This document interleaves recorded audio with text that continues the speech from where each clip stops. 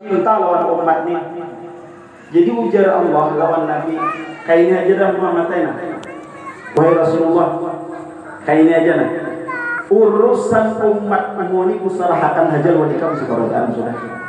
Hendak ikam selamat selamatakan hendak ikam kada selamatakan tasarah kusalahkan samunyaan lawan ikam kenapa ikam tuh sayang juga lawan umat. Makanya kusalahkan juga lawan ikam sudah sampai-sampai Allah Ta'ala seperti itu. Apa ujar nanti? Jaga bahasa pian itu nama disayangi benar oleh kuitan. Mak indah nantinya